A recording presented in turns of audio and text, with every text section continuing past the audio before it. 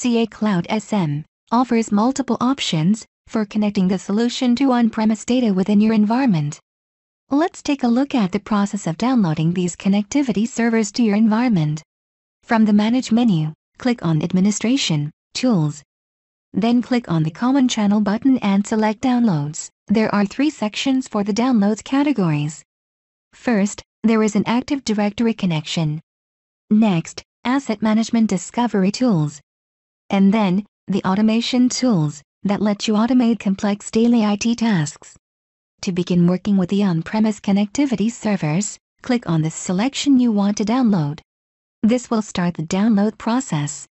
Once the file or utility is downloaded, follow the instructions to install and configure it. Let's take a closer look at each of these areas. The AD-Sync utility uploads user data from an LDAP server to CA Cloud SM. Active Directory synchronization eliminates the need to manage a separate database of users. When a user is added or removed from the domain, the application automatically synchronizes that information. AD-Sync utility is primarily used for importing information like users or contacts and their respective organizations. The utility does not import any passwords into the application database.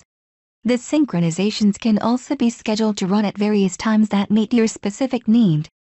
Once you have clicked on the download, at the bottom of your screen, you will see the utility or zip file being downloaded. Some of the zip files will contain a Documents folder. Inside the AD-Sync utility zip file, you will find a PDF file named AD-Sync Utility for CA Operating Platform, which will guide you through the setup process. To discover assets in your environment there are two possible downloads that will be required. For the native discovery tool, you must download both the Asset Connector Discovery Manager installer and the Asset Discovery Processor installer.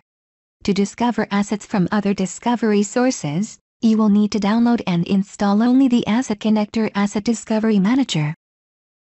CA Cloud SM provides complete IT automation capabilities that can integrate with various service management disciplines, like incident, change, configuration, and asset management. For example, you can use the automation capabilities to automate routine or time-consuming and complex tasks using Unified Service Management.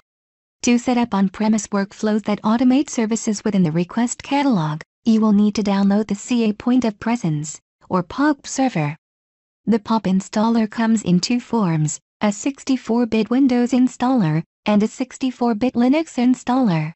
Examples of self-service request catalog automation could include VMware Lifecycle and Employee Management. To find more information about these utilities, refer to the Documentation Wiki under the Administrating category, in the Asset Management section. And within the Building category, under Active Directory Synchronization and Service Automation. Additionally, you can refer to the Ticket Workflow Components lessons to learn more about how to modify your workflows.